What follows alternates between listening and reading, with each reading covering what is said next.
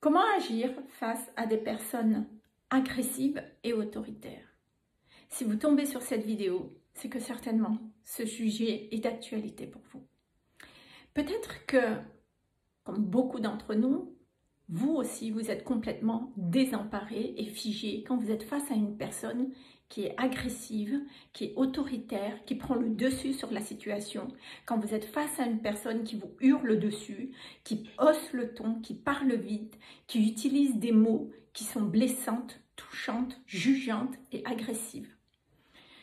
Peut-être que vous aussi, vous perdez complètement les moyens, vous êtes complètement figé, désemparé et vous vous sentez impuissante quand vous êtes face à ces personnes qui sont agressives et autoritaires et que c'est vraiment impossible pour vous à ce moment-là, au moment où la personne vous hurle dessus, il est impossible pour vous de renverser la situation. Il est impossible pour vous de sortir un son de votre bouche.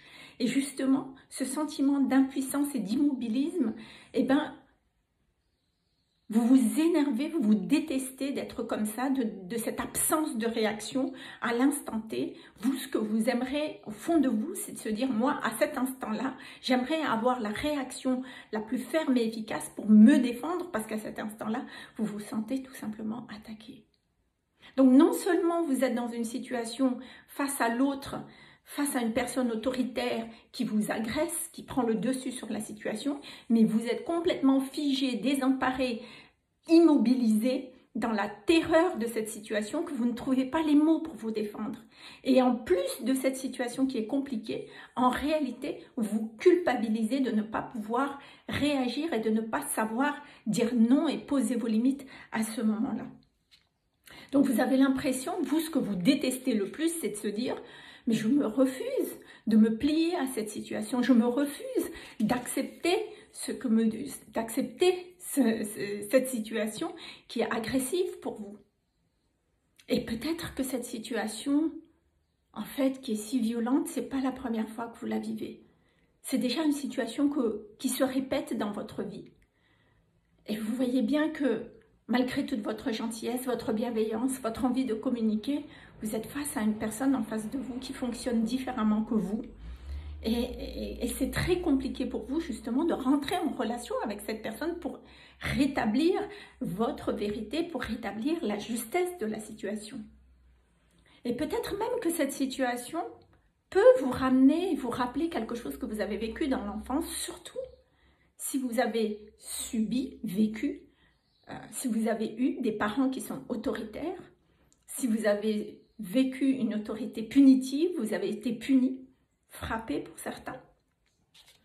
Et euh, si vous avez aussi vécu une forme d'agressivité, de violence dans votre enfance. Peut-être aussi que pour vous, pour certains d'entre vous, vous avez un tel refus de l'autorité, vous avez tellement souffert de l'autorité que ça vous en devenez allergique. Vous avez un tel refus de l'autorité que du coup, la moindre, la moindre remarque, vous ne supportez pas qu'on vous donne des ordres, vous ne supportez pas les remarques, quoi qu'il arrive. Donc on ne peut rien vous dire. Mais ça prend tellement des proportions que du coup, vous-même, vous avez des réactions, vous avez une réaction disproportionnée parfois par rapport à certaines situations, ce qui pose un problème dans votre, dans votre vie professionnelle, euh, par rapport à votre travail, surtout si vous avez un RH, mais aussi dans votre vie personnelle, parce qu'on ne peut plus rien vous dire. Et que finalement, vous devenez votre pire ennemi, c'est-à-dire vous détestez les personnes autoritaires et agressives, et malgré vous, c'est ce que vous devenez. Et ça, c'est ce que vous ne voulez pas. D'accord? Peut-être qu'au plus profond de vous, au plus profond de vous, ce que vous désirez vraiment, c'est déjà d'avoir le courage, le confort de pouvoir dire non, de pouvoir dire stop fermement, sans culpabilité et sans peur quand vous êtes face à une personne qui vous envahit, quand vous êtes face à une personne autoritaire, agressive. Peut-être que vous, au plus profond de vous, ce que vous aimeriez tout simplement, c'est d'avoir les moyens de pouvoir rétablir votre vérité, de pouvoir rétablir la justice et de pouvoir aussi avoir les moyens pour reprendre le pouvoir sur la situation. Peut-être qu'au plus profond de vous, ce qu'il vous faudrait, ce que vous souhaitez, c'est d'avoir les, outils adaptés à vos valeurs. Parce qu'avoir une personne agressive en face de soi et autoritaire, il y a quand même une part de soi qui se dit moi je ne suis pas comme lui, je ne suis pas comme elle. L'agressivité c'est pas mon truc. Vous n'êtes pas sur votre terrain, donc vous n'êtes pas au confort d'être sur le ring et dans ce rapport de force. Et ce que vous, ce que vous désirez, c'est d'avoir des outils adaptés à qui vous êtes vraiment, à vos valeurs, à votre façon de fonctionner, mais d'avoir des outils qui vous permettent d'affronter une telle décharge d'agressivité? Peut-être que, en fait, au fond de vous, vous, justement, pour reparler de ces outils adaptés, ce que vous voulez, c'est surtout, surtout, surtout, ne pas être méchante, ne pas être agressive, ne pas être violente, mais trouver vraiment un moyen qui vous, à travers qui vous, qui vous êtes vraiment, un moyen qui soit percutant et impactant par rapport à l'autre, qui justement puisse vous permettre de vous protéger, de prendre votre propre défense et surtout de renverser la situation. Vous, au fond de vous, ce que vous aimerez, c'est déjà sortir gagnante de cette histoire. Ce que vous aimerez, c'est d'obtenir et de, vivre dans le respect et la considération. Mais surtout, surtout, mes amis, certainement qu'au fond de vous, ce que vous désirez vraiment, c'est ne plus revivre ces situations d'agressivité en boucle. Vous aimeriez sortir de cette boucle de l'agressivité, de la violence et de l'autorité. Ce que j'aimerais vous dire, c'est que je vous comprends complètement.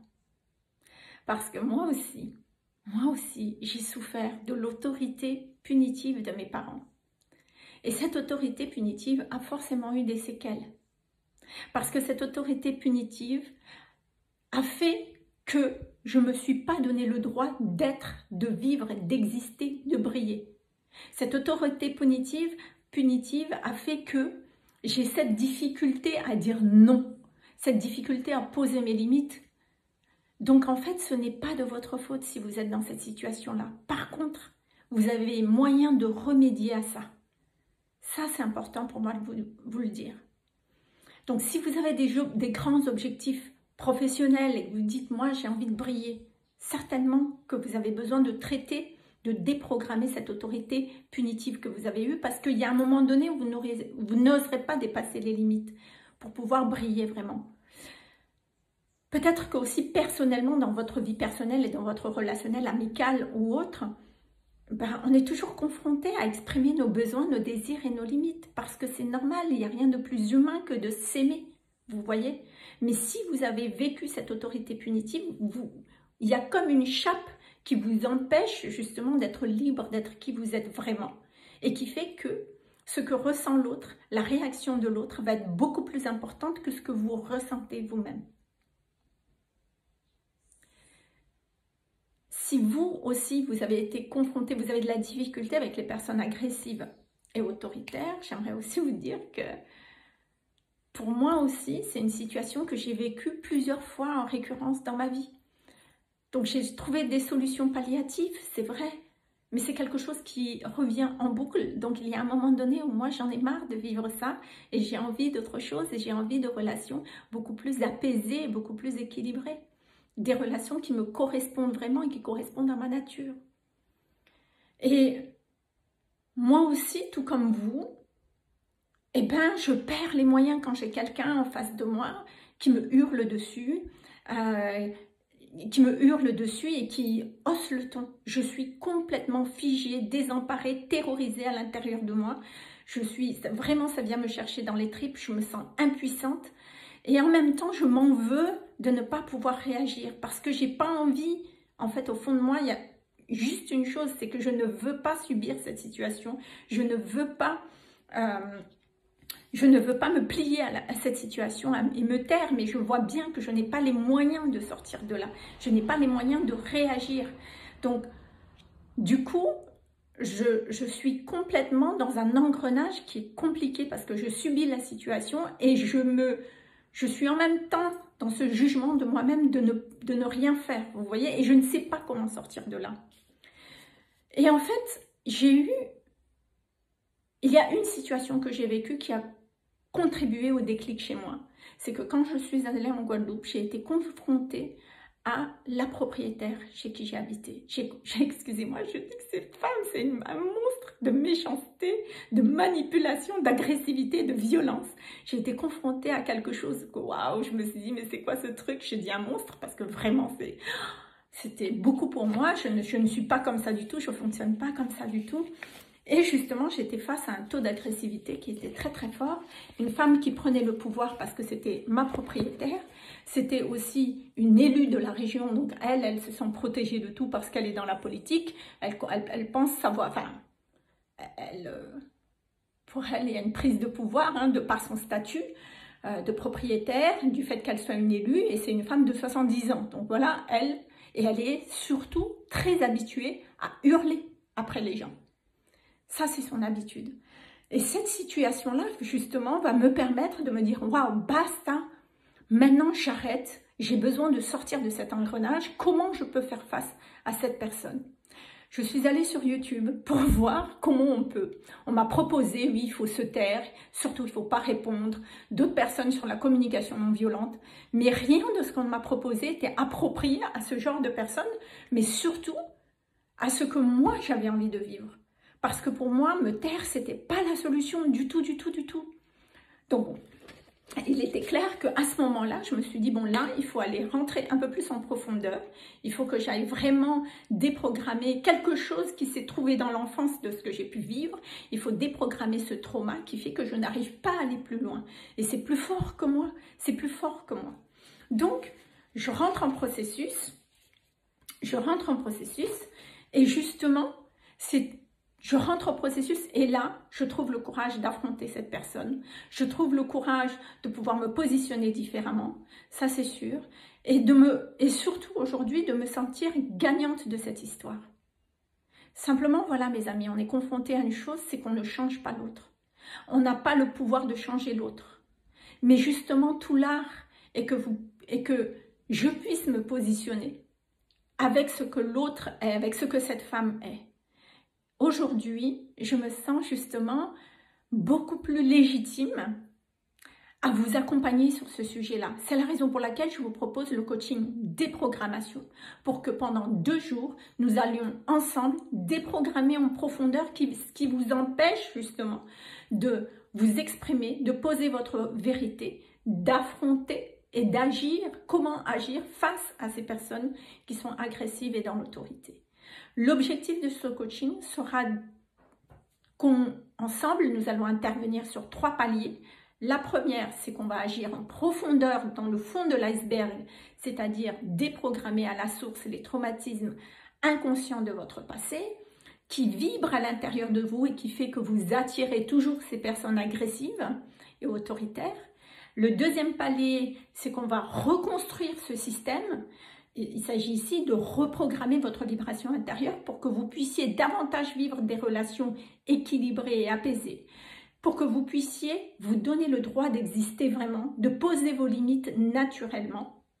Et ensuite, le troisième palier, pardon, ce sera le haut de l'iceberg pour que vous trouviez justement cet outil adapté à vos valeurs de comment je réagis face à cette situation qui est écologique pour moi. C'est ça. Donc ça va se faire pendant deux jours. Ça sera ce samedi 28 et ce dimanche 29 sur Zoom. Donc il y a une place restreinte de 10 personnes et vous aurez aussi les replays. Donc contactez-moi si vous êtes intéressé à déprogrammer à déprogrammer justement ces situations d'agressivité, de violence, de manipulation dans votre vie. Je serai vraiment ravie de vous accompagner.